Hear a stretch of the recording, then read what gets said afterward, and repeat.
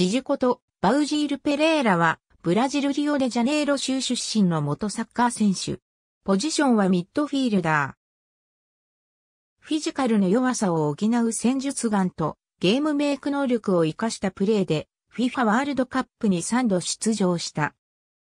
1928年リオデジャネイロ州カンポスドスゴイタカゼスに生まれる。少年時代、ストリートサッカー中右足に大怪我を負ってしまい、その足をかばうためにフォーリャ石化と呼ばれる、揺れながら急激に落ちる特殊なキックを身につける。1949年にフルミネンセに入団し、ブラジル中にその名を馳せた。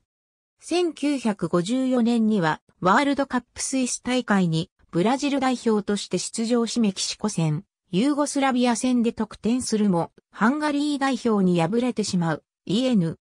1958年のワールドカップスウェーデン大会では、ガリンシャ、ペレラも加わったブラジル代表は、南米勢として初めて欧州での優勝を成し遂げ、ジジはワールドカップの後、高額の移籍金でレアルマドリードへ移籍することになった。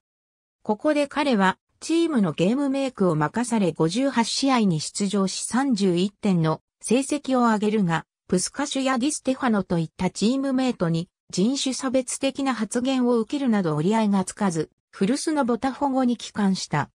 1962年ワールドカップチリ大会の後34歳で引退。その後は監督となり、1970年のワールドカップメキシコ大会にはペルー代表の監督として出場するが、準々決勝で母国ブラジルに敗れた。1999年ワールドサッカー史の20世紀の偉大なサッカー選手100人で39位に選出された。ありがとうございます。